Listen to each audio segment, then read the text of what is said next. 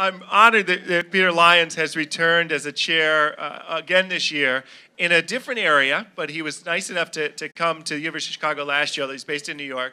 And this year, we've got a really challenging and interesting question, which is how might one navigate all of the competition and antitrust and regulatory uncertainty, and what are the new techniques and methods we can use to improve the outcomes of deals, knowing going in that it's a very, very unclear environment. And so we're honored to have this uh, panel assembled of uh, expertise and scar tissue and war stories to share what's worked and the, at least to help you think more effectively about navigating these issues. So uh, Peter will introduce himself and his practice at Freshfields and everyone else, and then we'll get this uh, next discussion underway. So thank you for being here.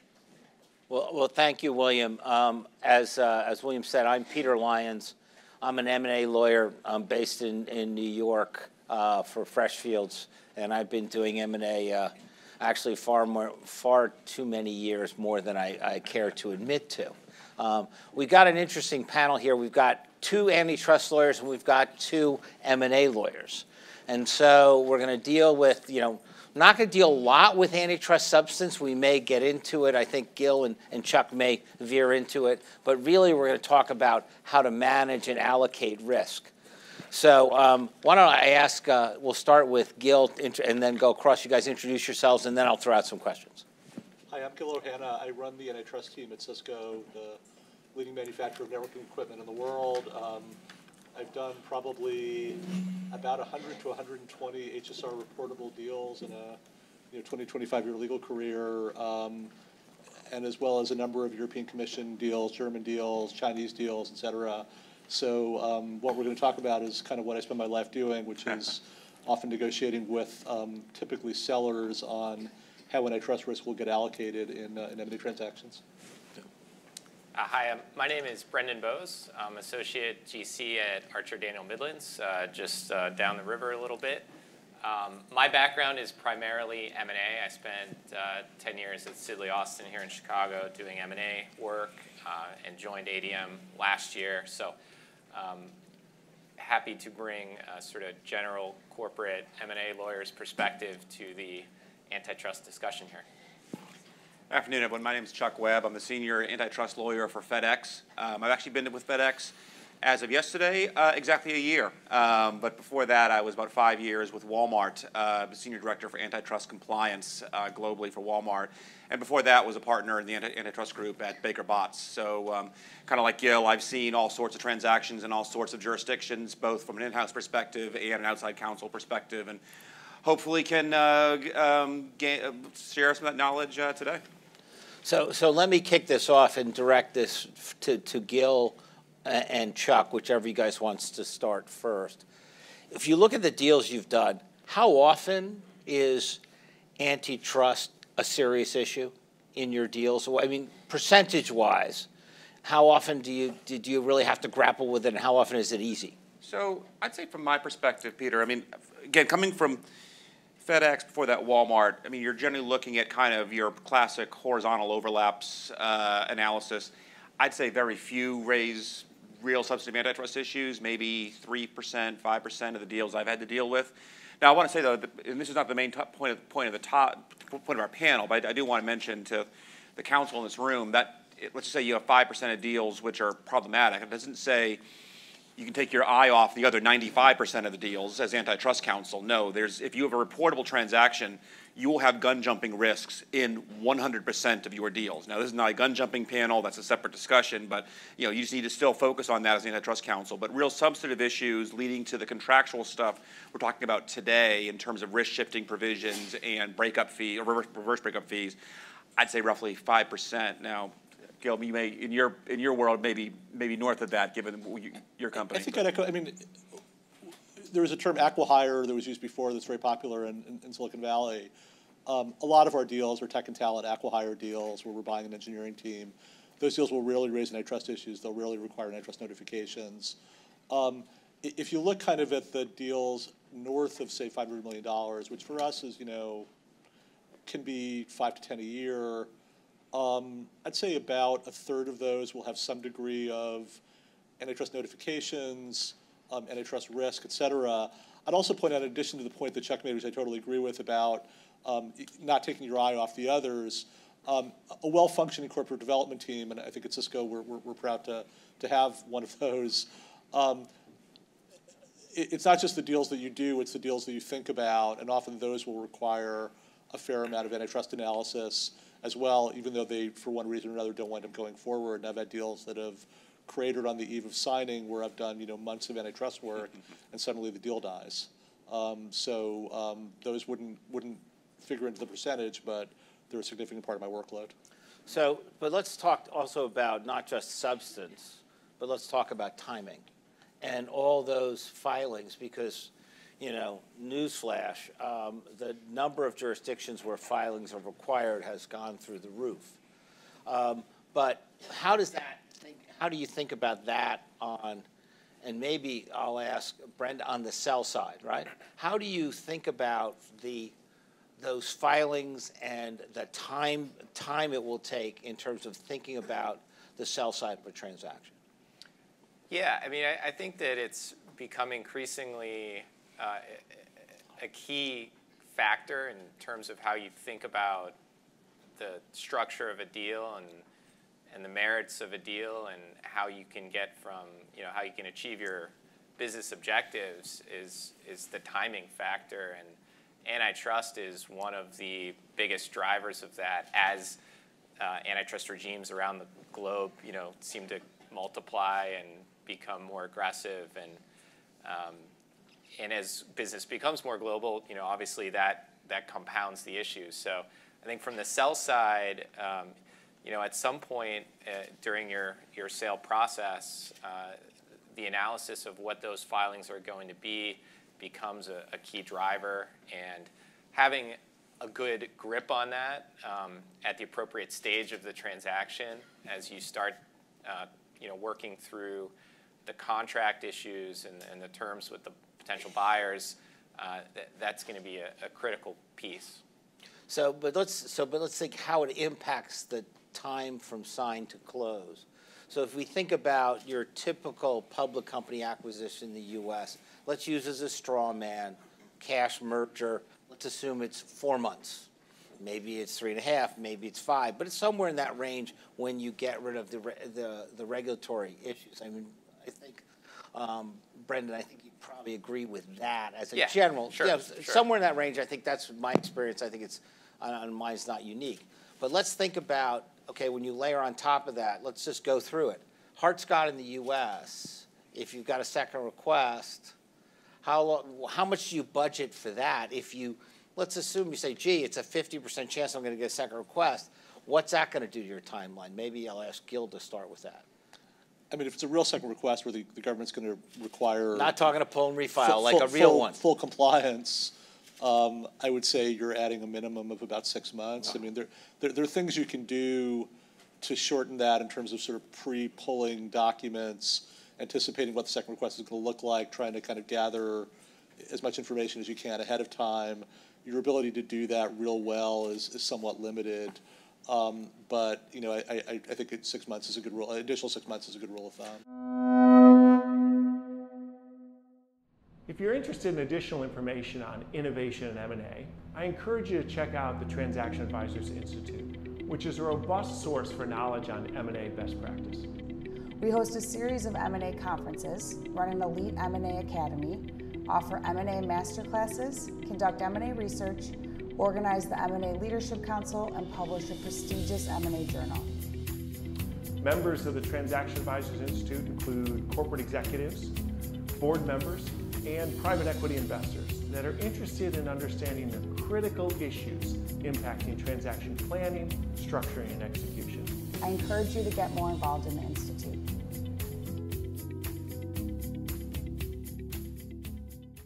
And so let's go, but let's turn, let's go across the Atlantic and let's talk about, let's assume we're at the EU, okay? How much, what do you budget? Let's assume we've got a deal which may have some EU issues. How do we think about the timing for that? I mean, Chuck, more or less, what do you think? I would say more. I mean, I think in that in that scenario, especially if you're looking at both both uh, uh, extended reviews in both the U.S. and EU, I'd be hesitant to go anything less than a year. And of course, we're, you are, I'm sure you're getting there, but we're ignoring the huge, the huge other question, uh, which I'm sure you're getting to, which is. Well, I mean, the real question, let's go to China. Yeah. And how do you, I mean, let's just ask, how do you predict how long it's going to take in China? So I tell you, I once had a deal. Um, it, it, it was a non-substantive deal, really, but we, it was it was back, back when I was up in private practice. I mean, we actually it was a company acquiring a, one company, but they had assets in Australia and China, and we actually bifurcated the deal. I mean, because we Australia is a voluntary jurisdiction, right? So I mean, to to not hold up Australia for anyone knows how long, we made it two transactions um, instead of one. I mean, it, it really affected the deal structure. So it's, it's it's a tough one. So, but let's go back to the US. Let's assume we're going to have a second request. Okay, let's assume we take your six months, right? Okay, that's a, that's, I think, I, I guess I would agree that's as good a straw man as any. Because, and we're, it is a straw man. Uh, We're talking about six months in addition to the four Yeah. that you, three to four that you mentioned. Right. But so you got, you got, what if you're gonna, what if you want to litigate? How much, how much time do you have to build in if you're gonna, we'll come back to whether we should agree to litigate, different question. But how much time do we need to add for that?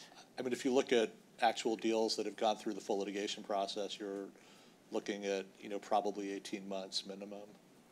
I mean- Um, Yeah. And so I think the thing we need to recognize, uh, just to sum up this part of it, is to say, if the, the timing impact, putting aside the substance as to whether you'll get the deal done, whether you'll have to agree to remedies, the timing impact can be significant. And I will say this, I said, you know, Brendan, if you're going to talk to your, your, your biz dev guys when they're selling an asset, I mean, do you think they really appreciate that time impact? And obviously, that time is money and time is risk.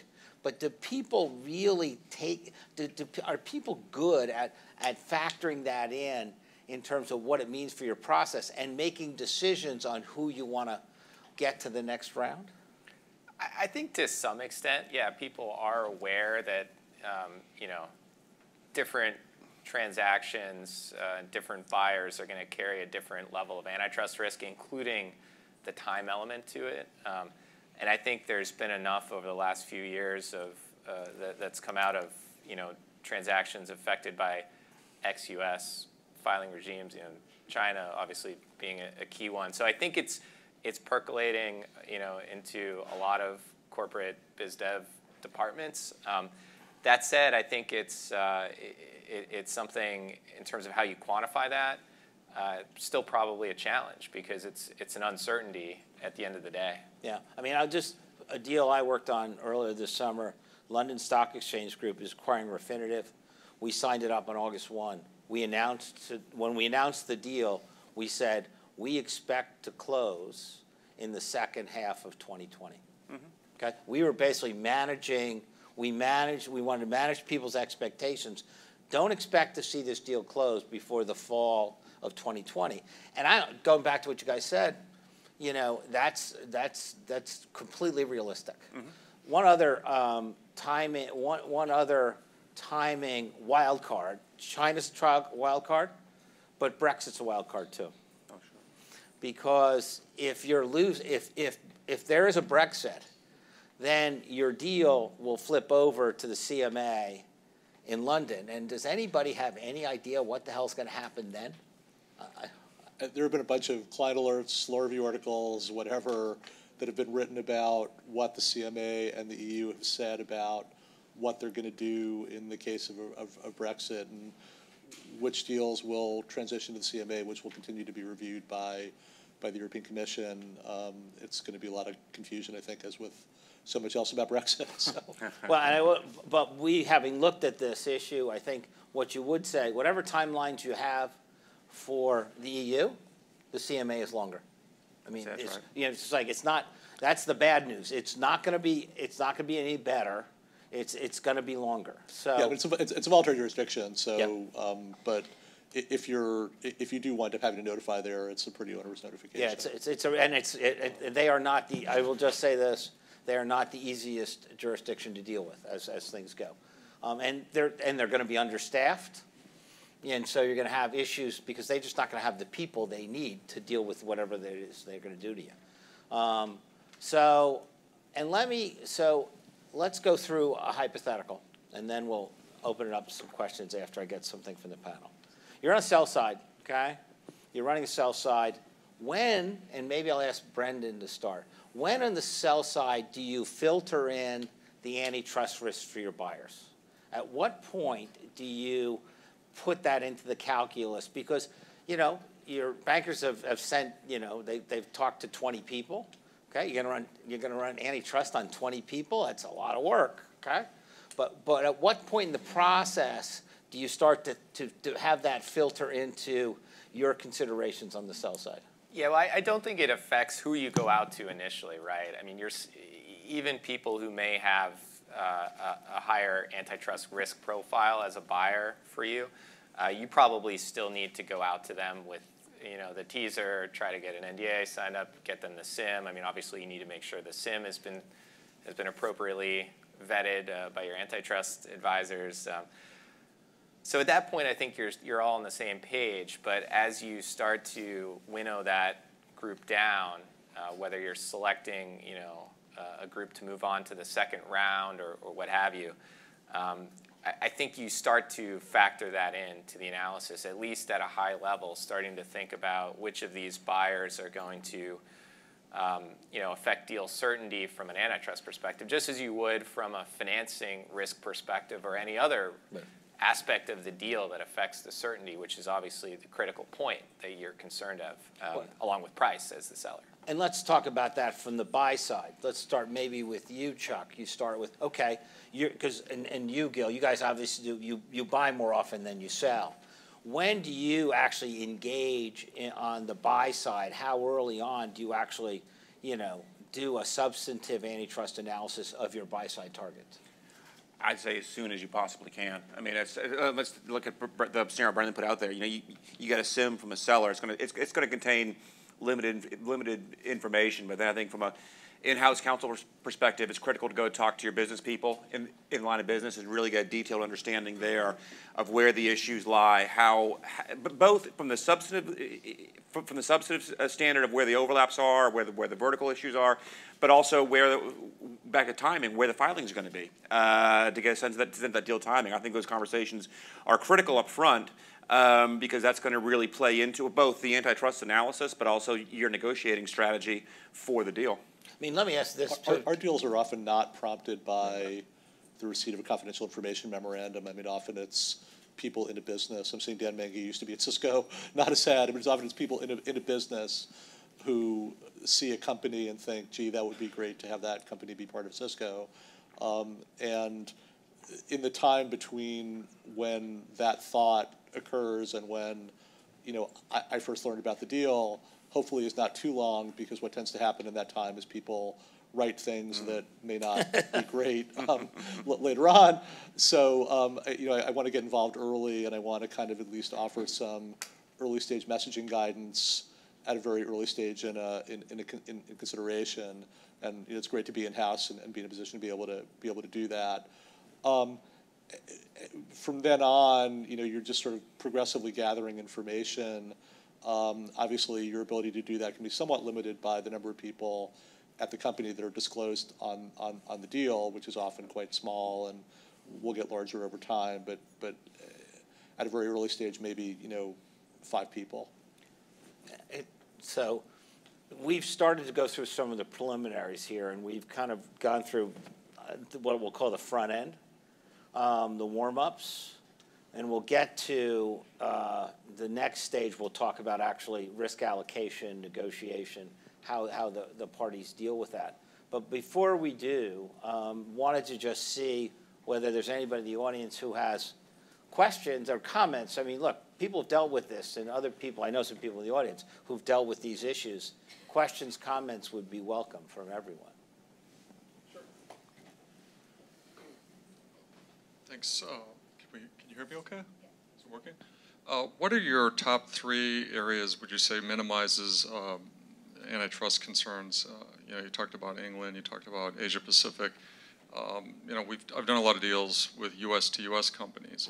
But if you're looking, for example, to uh, remove HSR risk, and you- you, you mentioned, uh, you know, uh, timelines, uh, what are your thoughts on that?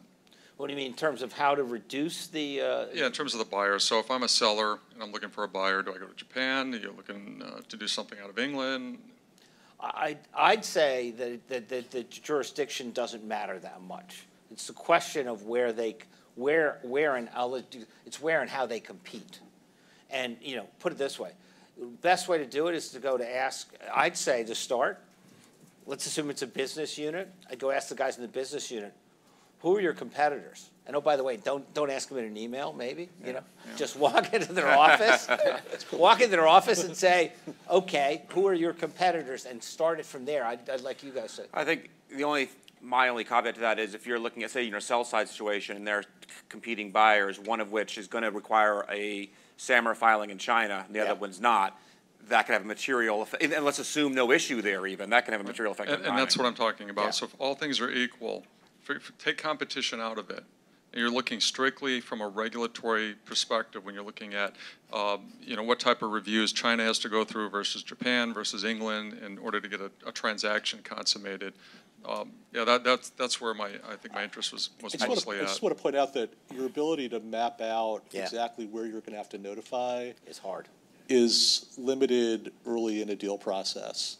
You can tell the antitrust person in any deal process because they're the ones that are asking the corp dev people. So have you gotten target revenue by country revenue information yet?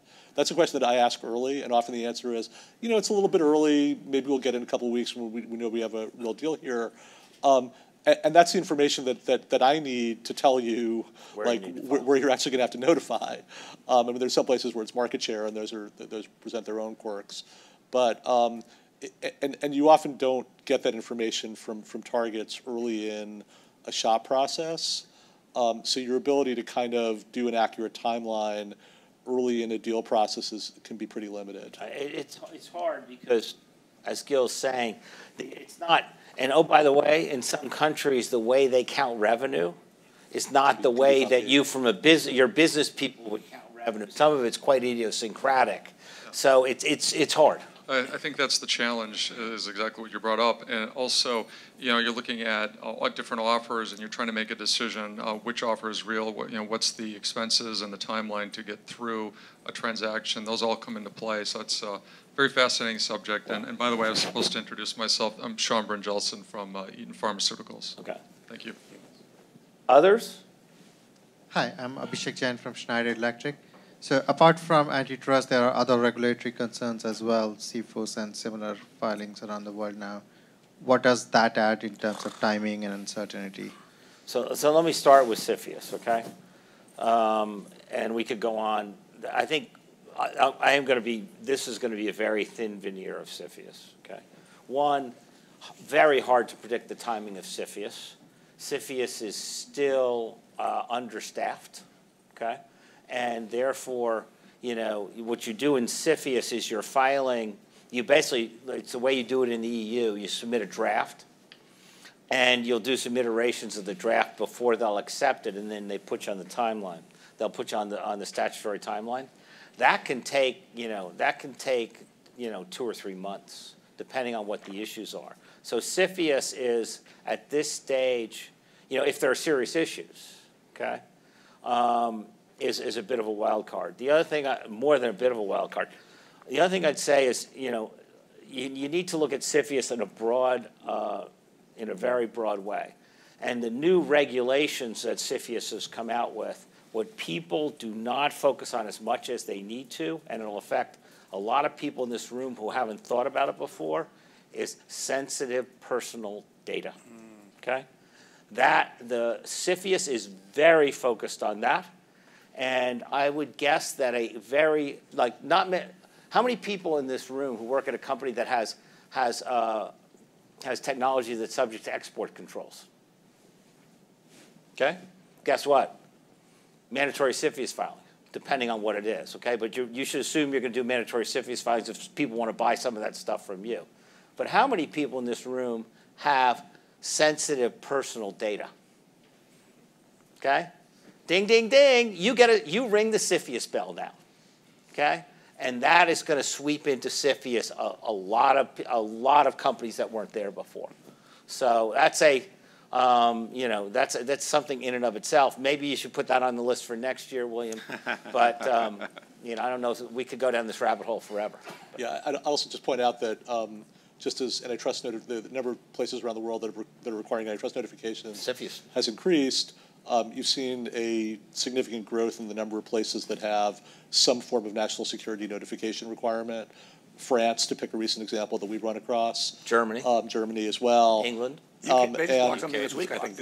England just blocked They just blocked something. England just blocked a deal last week on national security grounds. You're absolutely right. So um, th- th- this definitely needs to be added to your checklist if it isn't on it already, because um, it, it, it, those processes. I mean, you're dealing with new new agencies performing new responsibilities under new statutes, um, none of which is a recipe for getting your deal through quickly.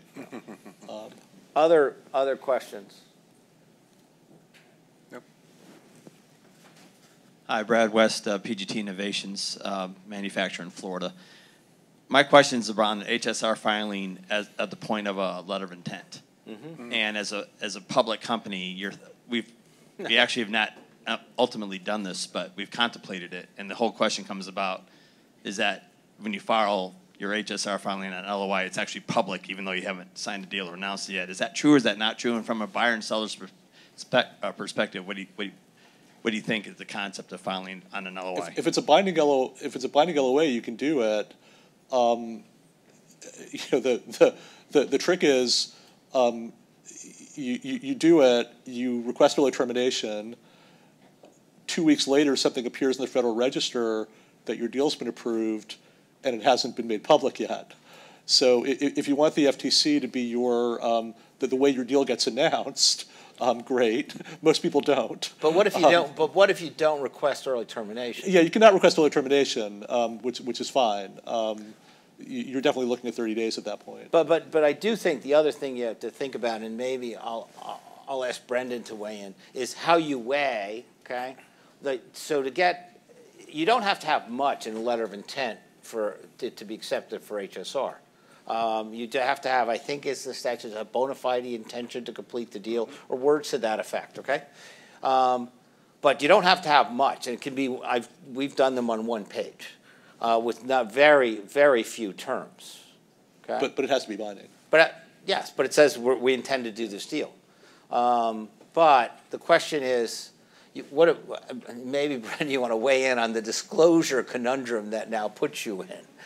Yeah, well, I guess it depends, right? If, if it's a material transaction for you and you're, you're going to have a disclosure obligation potentially triggered as a result of just entering into that LOI. If it's, uh, I mean, I'm guessing if it's that material of a transaction, you're probably not going to be comfortable just Yeah. relying on that LOI. Uh, e- e- even, you know, if it does remain confidential, if you don't ask for early termination uh, because of all the typical reasons people don't like to enter into binding agreements to agree. Um, that said, I mean, I, you know, it's it's it's a calculated.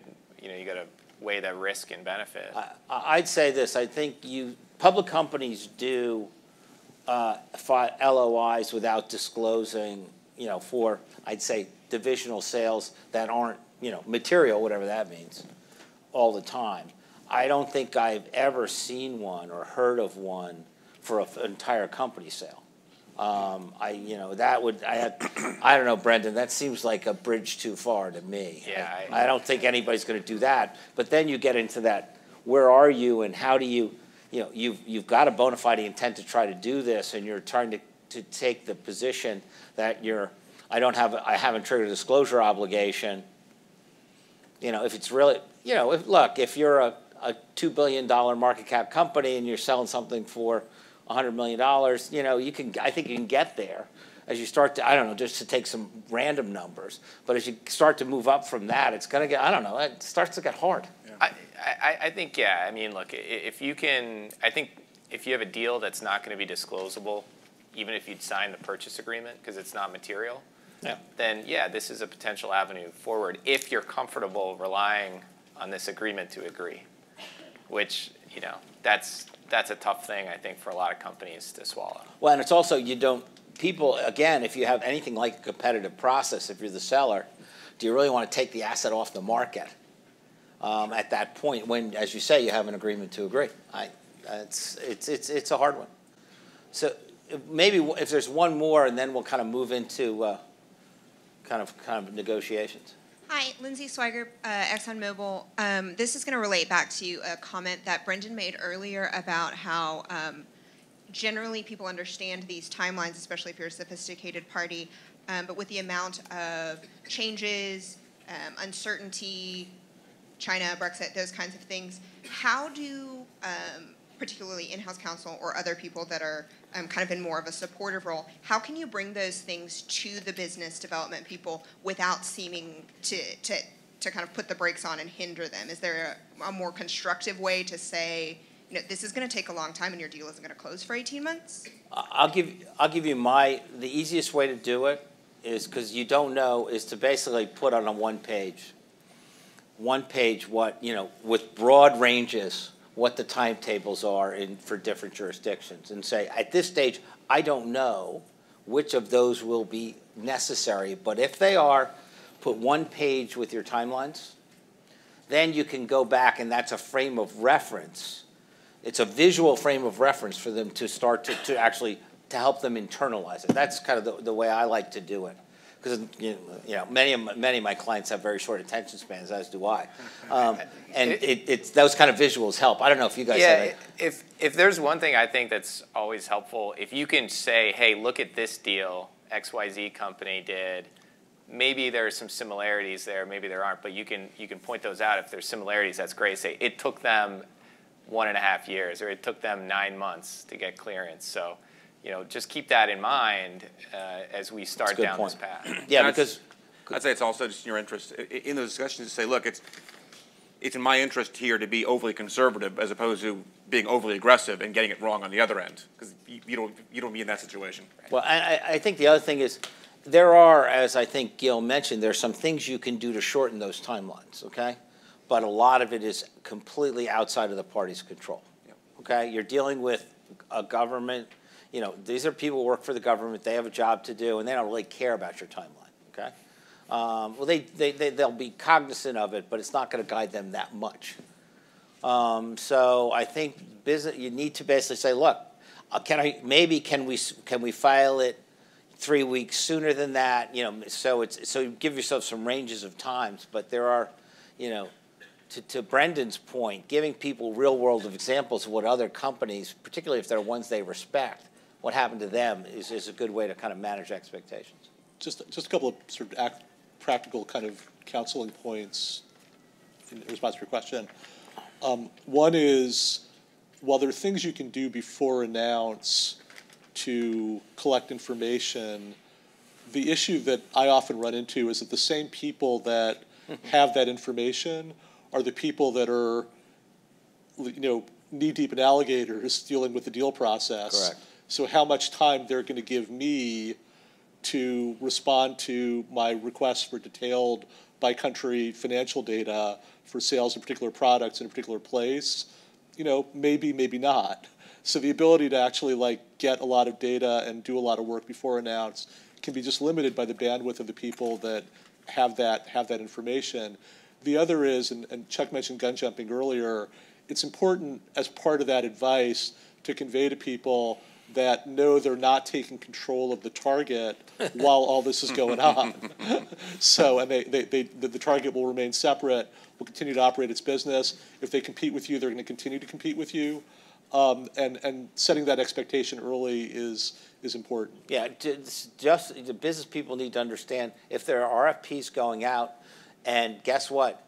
The, the buyer and the target are competing for it. They're competing for it. Yeah. And that's just gonna, that's something people are gonna have And, to and you don't live get to call them and say, hey, maybe you don't want to bid for this one. Yeah, just at the most extreme, and it goes far beyond that. So let's talk about actually um, negotiating the risk allocation provisions. Okay, so we're going to assume here, let's just take a hypothetical, and um, Brendan and I will, you know, play the parts of the sell side, and uh, Gil and Chuck will be on the parts of the buy side because in their companies they probably, you know, buy a lot more often than they sell. But so let's take a hypothetical. Let's just say it's uh, it's, it's, it's a, a process, and we're on the sell side, and we're telling people that we're gonna let, you know, two or three people into the second round, maybe four. You know, let's say three, two to four people in the second round. You're one of them, okay? And let's assume, you know, that, um, that Gil, um, or Chuck, they're in the second round, but they do have some antitrust risk. And it, it- it's, we, we're, you know, it could be, and maybe the question is, is it low, medium, or high? We don't know yet, but they have some, okay? And Brendan's, you know, Brendan and I are gonna call him up and say, you got some antitrust risk here, okay? There are other people in the process who have very little. How are you gonna help us out? How are you gonna level the playing field with the, how are you gonna try and get back? Because you know what, you're in a hole. The speech I'm gonna give is, you're in a hole. And, but I'm here to help you dig yourself out of that hole. I'm just trying to help you guys because you're in a hole. So I'm going to send you a contract. That contract's going to have what everyone calls a hell or high water provision, which is a stupid term, but let's put that aside for a moment. So, Brendan, if we're on the sell side in that situation, you will send out a contract with a hell or high water, meaning you have to do anything and everything, including selling your children into slavery. Yeah. Yeah, I, I think that that certainly does the trick uh, of evening the playing field from the seller's perspective, or at least bringing it as close as possible, given that one party may have risk and one may not. Okay, so then I'll ask a question for you guys. Okay, we've sent that out. For a buyer that actually has meaningful, some meaningful antitrust risk, how often does a buyer with meaningful antitrust risk actually sign that? I'd say very, very rarely in my, uh, in my experience. I could recall once in my 20 years experience. Yeah, I mean, I, I- I would never advise a client to accept that, and, uh, yeah. I, I will say I have seen it where people have, it's a very competitive process, and where there are certain types of antitrust risk that are frankly easier to quantify and calibrate than others. Um, and so, deal I did years ago, we were selling kidney dialysis clinics. It's actually, you know what? There's a, and the government's looked at, they've looked at a ton of those deals, and you can predict within a reasonable degree of tolerance what that's going to look like, and you can assess that risk. And people have done it. I, you know, I, the buyer who got that deal actually did, um, because he needed to catch. He he had the worst antitrust risks. Wanted to. He wanted to win. I'll tell you, and that the hypothetical phone call you just had, uh, if I got that from you, I'd say, okay, our joint, our joint goal is to get this deal through and to get regulatory approval. Let's please not put, because they're so rare in my experience, let's not put a massive red flag on page 21 of the agreement that any agency is going to pick up on, therefore leading to the scrutiny that we're trying to avoid in the first place. Let's actually have a reasonable conversation about how to control that risk and not to create this elephant that is going to basically create a flag which is going to lead in itself to what we are trying to avoid. Well, let me let me ask another. Uh, that leads me into the next question, which is at that point in time when we've started to have that those discussions, right? I'm giving my speech, you're giving your speech. Uh, but before we do that, how much substantive work have we done? How well do we understand the antitrust risk? Before, I mean, Gil, how well do you want to understand the antitrust bef- risk before you engage in that conversation? Probably better than I do. Um, I, I think that um, you understand the buyer perspective on the antitrust risk. You may not have a great sense of what the seller's documents say. Yeah. Um, I mean, it's probably a statement against interest, but you know, there's an entire venture capital industry in Silicon Valley that funds companies so that they can be acquired by a Google, a Facebook, maybe an Intel, maybe a Cisco. Um, and the pitch deck that the startup is going to provide to its VCs to get funding is going to be, you know, like we're going to disrupt this industry in the following ways, and we're going to disrupt incumbents in that industry, and they may mention like my client's name or you know or Google or someone, and um, you know if, if there's a lot of that, um, then going into an agency and saying, you know, boy, these guys really weren't all that material to us. There are seven other companies that do what they do, et cetera. um, may not may not be like the most credible opening opening statement because they're going to have all sorts of bad stuff about how their mission in life was was was to drive you out of business. Um, so that's the stuff that I typically don't know, and one of the ways that I would respond to an aggressive ask for antitrust risk protection from from a seller would be to say, um, you know, kind of come, let us reason together. Let's talk about a process whereby we can get some information from your company. Mm-hmm. Um, and we can provide you some information from our company. We'll keep that information to a pretty small group of people, um, but that'll help us come to you know, kind of a shared view relative to antitrust risk, which will maybe not eliminate this as a source of dispute in the negotiation, but maybe um, narrow the range a little bit between what you know what we perceive and what you perceive, and maybe that gets us beyond hell or high water to something that's kind of more in the in the realm of something that we could actually sell to our board. Yeah, I, I will say to build on what what Gil is saying here that uh, my strong advice to clients is to have to try and do some work, to have an antitrust lawyer who has sat down at least sat down with the people understand the markets and the products so that they can give some advice on, and share some of that information. You may not come to agreement, but I, I don't know. My experience is people are rarely, you know, miles apart. They may be this far apart, but they're really rarely that far apart. And that frames the discussion in a better way. We're not just shouting hell or high water, I'll never accept it, my board will never do that. You can actually then, then you can start to talk about, okay, what is reasonable? What can be done? Okay? Now, the standard that you see in most contracts is, you know, you know, turn this one to Brendan, is reasonable best efforts, okay? Is anybody actually, if you have serious antitrust risk, does anybody actually go forward with a contract that just simply says the parties will use reasonable best efforts and not say more? What's your experience? Uh, no, I think that if there's a if there's a real potential antitrust issue, um, you're going to you'll have that language in there, some efforts, but then you're going to say what that means with some level of detail. Uh, will you litigate? To what degree will you litigate? Will you uh, uh, dispose of assets? Are there thresholds? Are there standards? Uh, to what uh, degree of pain you're willing to accept as the buyer to get the deal done? And so, how do you how do you describe the degree of pain? I mean, do you use words? Do you use? I've seen revenue. I've seen I've seen actually production capacity in certain industries because that's the way they. But how do you, as an antitrust lawyer, I'll ask the antitrust lawyers two questions. How do you describe that? And how worried are you about signaling your position to the antitrust authorities? I'd say there's really two issues here. I mean, are there what are you willing to give up in terms of divestiture, remedies, et cetera? And that can be described as you say revenue, it could be particular lines of business, it could be production. Uh, and then the second phase is how long are you willing to fight? Are you going to go through second request? Are you going to go, do you, do, are, are you requiring a judicial challenge? Uh, is it preliminary injunction? Anything, anything beyond that?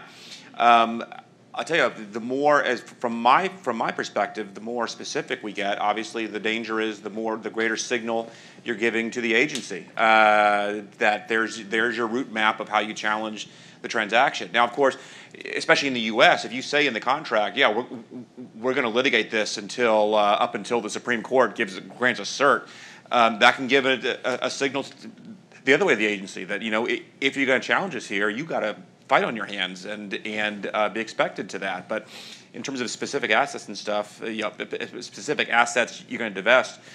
Yeah, it's uh, there's you have that risk. Query whether there's a place you can put that other than in the definitive agreement, and if the seller would agree to that. But I think that's another another issue to explore. Well, we can look, we, we, let's not, we can, let's stay away from that rabbit hole because we yeah. can go down that yeah. forever. Yeah. Let, let me I mean, make, make one observation and then maybe disagree with Chuck a little bit. Um, so the first is that the question of how quantifiable efforts provisions are really varies a lot across deals and across industries. I think to, to a point you made earlier, um, there, there are you know there are spaces they just don't happen to be the ones that I'm in. um, that you know bank mergers, where you can you know really kind of know to a degree of certainty what divestitures or branches will be will be required. Um, in in the tech world, often you're dealing with non-structural remedies, behavioral remedies, licenses. Google ITA being my favorite example. The consent decree in that case is like 20 pages long or something. Um, Comcast NBC is another example. These are incredibly detailed behavioral commitments, and predicting with a high degree of certainty what exactly they're going to say is, is, is hard. Um, so once you get into the world of non-divestiture, non-structural remedies, you're talking about you know licensing interfaces, maybe agreeing to arbitrate rate setting with, with customers and, and deal with vertical issues, et cetera. Or, or license on a FRAND basis? License on a FRAND basis, um, certain IP. Um, those are those are really hard to kind of put into put, put into anything but you know fairly high level high level words. Um, now, come to the point of where on, on signaling, um, I actually have not found this to be a huge issue, even in deals where we've specified the um, you know the, the efforts commitments to a fairly high degree. I think the agencies kind of pride themselves on deciding for themselves whether there's a problem, and if so, what the remedy will be. And um, they're certainly aware and, and maybe view things you say as a little bit of, of, of guidance, but ultimately they want to make their own decisions. One thing, perhaps in contradiction to what I just said, deals with very high break fees tend to attract attention because they have very high break fees because the very high break fees become the subject of discussion. You know, the deal professor in the New York Times writes an article about the why why did this company agree to a 80% break fee, et cetera. Those deals tend to get attention because the agencies kind of think, gee, there's something there's something there. So um, and and certainly for public company deals, the break fees are, are public. So um, that's my only caveat. But in terms of detailed efforts provisions, I, I, haven't found that the agencies pay a lot of attention to them as a, as a roadmap. And, and, and Gil, I, I, agree with you in the U.S., but I think where I get more nervous is outside the United States. I think with in, some in, of the in the EU, the, I, uh, my EU partners hate it yeah. because they think the signaling to the uh, Commission is palpable. They worry. They worry about a lot. Um, just so let's talk about for a minute about reverse break fees, and um, then throw it open to some questions you know, I'll observe, okay, when you look at it, you know, one, reverse break fees for antitrust, they're, you know, they vary a lot in terms of size. I mean, if you measure them, the way you measure break fees normally is uh, for, you know, for public deals is on equity value, percentage of equity value. And if you use that metric, two things I'll observe. They vary all over the place, but actually the quantum of them has come down um, over the last uh, several years um, as a percentage. The other thing I would observe is you may have a commitment. Sometimes you couple them with a commitment to divest. It's sometimes I. It's, it's often not either or. Mm-hmm. Okay, so you can have you can have both. And I think then though they serve different purposes. And I don't know if you if you've seen them. And I think the quantum goes down if you couple them with a with, with a commitment. I don't know. Is that your experience, Gil? Yeah, I mean, we really see reverse break fees in isolation. We see reverse reverse break fees as part of a package, and the mm-hmm. other parts of the package are efforts commitments that we've been talking about, and also what, what's the outside date and yep. what optionality does it provide the seller to, to pull the ripcord. Um, so those three typically get negotiated together um, in a you know complex package, and uh, this is what takes a lot of time sometimes in antitrust risk allocation negotiations.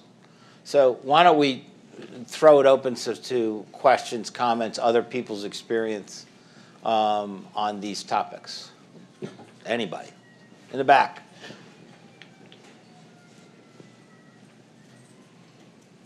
Uh, Brian Crandall from Knowles Corporation. Uh, my question was really around China. You guys touched on it briefly, but if you're divesting and Chinese buyer interested, how do you set expectations these days? You mean a Chinese buyer as your to buy a U.S. asset? Yes. Uh, I think you should set those expectations pretty darn low. like, is it possible? Well, it, yeah, can I, I, will put it this way. Um, again, we should have a CFIUS panel next next time. But can a Chinese company buy, you know, a matchbook manufacturer? To take an absurd example, well, probably. Okay. Um, but I think a Chinese buyer for um, at uh, for a, a, is going to be difficult in any number of industries, and I think people sometimes you know say, "Oh, it's all because of the trade wars." Well, no, it's not. Okay, uh, that is a problem, and that's a real serious problem. But I, you know, don't underestimate the fact that the U.S. security agencies, the Department of Defense, the NSA, the CIA, view China as an existential threat. And they see China trying to compete in um, artificial intelligence. That's a security threat for the United States, they would say. They would say that is a serious security threat. They would say, actually, that China trying to make the yuan a reserve currency is a security threat. Because actually, if they do that, that will take out, take away perhaps our most powerful weapon in international relations. Mm-hmm.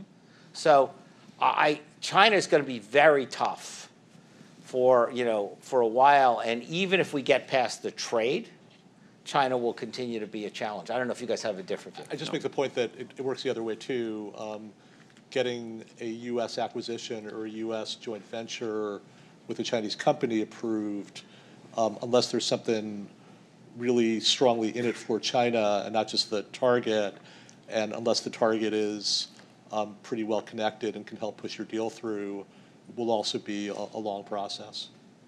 China's, I mean, Chinese, the SAMR has gotten to be you know, a relative, a more sophisticated agency than it was than MOFCOM was five years ago. Um, but nevertheless, they're small. Um, and when they go out, they go they, they canvass all the ministries. Mm. Yeah, they're really. I mean, SAMR is really understaffed, which yeah, exactly. explains a little bit about why things take as long as they do. And if you if you talk to people there, they'll they'll kind of admit that that they don't have the the resources that that they need. They're getting more sophisticated. They're getting smarter about particular industries. They're getting smarter about remedies. Yep. Um, but it's still, you know, they, they, have too few people doing too much deal volume. Yeah. Others.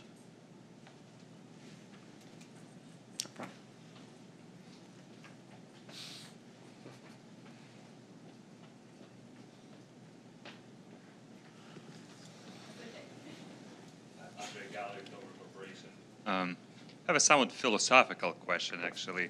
There's a school of thought that says that U.S. antitrust policy has been actually getting lax over time, over a long time frame.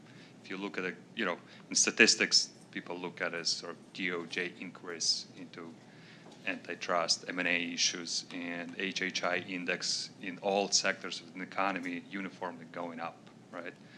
And obviously, I mean, you know, we're all busy. It's important topics to talk about but kind of stepping back, you are kind of career professionals in this issue. Five, ten years from now, do you see the paradigm changing? Uh, I mean, there's like technology industry, you know, all the concentration, people waking up to that. There's political, you know, kind of uh, paradigm there. Like, where is this is going long term? Uh, who wants to go first, Chuck or, or Gil? You know, I there's a lot of. I mean, it's the antitrust right now is most topical. Uh, certainly has been in my career, and um, you know, it's in presidential debates, et cetera. I personally don't see us moving away from a consumer welfare standard approach, uh, for for instance. But the consumer welfare standard approach, consumer welfare standard approach, excuse me, I'm talking too fast, can be pretty broad, um, and it can take into factors such as innovation uh, and um, uh, and dynamic competition. So I think potentially you'll see more focus uh, on that.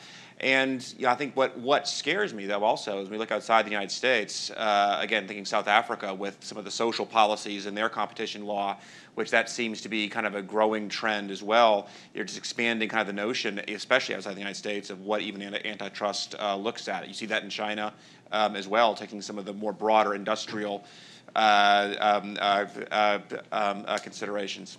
So, Gil. I don't have a lot to add to that. I mean, I think that there's a fundamental question of what we want antitrust policy to do. Um, and do we want it to focus on kind of more tangible considerations like, like you know, price output, innovation, the traditional sort of core concerns of antitrust, at least in the U.S. for the last you know 30 years or so, Or do we want it to do, do a broader set of things? And if we want to do a broader set of things, then to some extent, you got to change the laws because they're at least interpreted now as being very focused on those issues, whether rightly or wrongly. Any, any other questions, comments, thoughts? Here we go.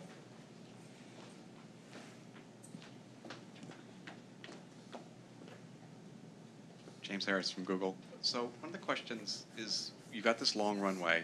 What are the thoughts around the operating covenant? Which is probably a whole other topic. Because I think there is this, you know, how do you set so that you keep the management, man- letting the company run itself, but also have oversight on it? Because if it is a year in tech, that's a a lifetime. So how do you, what are thoughts, guidance on that? You guys want to start?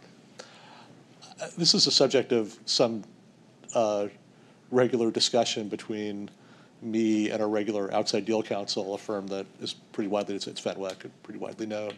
And, and one of the points that I make to them occasionally is, like, be careful what you ask for, because you want to set a materiality threshold at a point where um, you- you're not tying the target in knots. And also, frankly, you know, every time they want to do some ordinary course transaction, you don't have to like approve it because that starts to take a lot of time and effort. So you do have to be, be thoughtful about what the what the operating covenant should look like, um, while at the same time focusing on what really is important to you in terms of making sure they don't do anything crazy. Well, look, I mean, there's certain things that, you know, like capital expenditures, okay? There's some easy things that you can say that's off the table, but the harder, we're talking about the commercial part of the, right, the commercial? I would, I, to build on what Gil's saying, I would say, look, one of the useful ways to think about this is if you set, set the threshold, however you establish it, how often are they gonna have to come and talk to you during the course of the year, okay? And at some point is you say, well, that could be 20. And you say, are you really going to want to talk to them about that often about that issue? And I argue to my clients that then you don't have, you got the threshold too low because you got you got you how often is this you're going to have this dialogue? Uh, and you really got to think about it how it's going to play out. I think that's a useful way to get people to be, you know, frankly, have a little sanity about it. And, Uh, and, and to put it in a legal framework as well, I'll, I'll go back to where I started. If my world, five percent of my deals have substantive antitrust issues, but ninety-five percent, all of hundred percent have gun jumping issues. I mean, again, you don't, you, you don't want to get to years where you're coming to you for everything. And there, there could be an, an argument there that you prematurely assumed a level of control that is inappropriate under competition or or antitrust laws. And I'll just observe that, you know, the gun jumping issues are serious in the US, in the EU.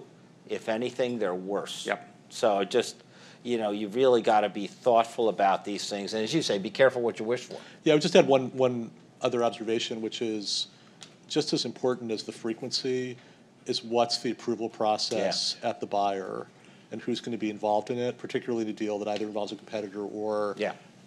a, a supplier to your competitors. Because there's information that Yep. you Yep. need for the mm-hmm. approval process legitimately that you don't want sloshing around within the buyer. So what are the guidelines in terms of who's going to have access to that, who's going to be involved? What are the bases on which you're going to make those decisions? Those are all interesting questions. All right, are we, Yeah, we, we've run out of time, but we certainly haven't run out of things to talk about, that's for sure. So, um, but uh, unless there's any final closing comments, um, why don't we continue the conversation during the break over a cup of coffee? So, thanks, you guys. Thank you. Thank you. thank you.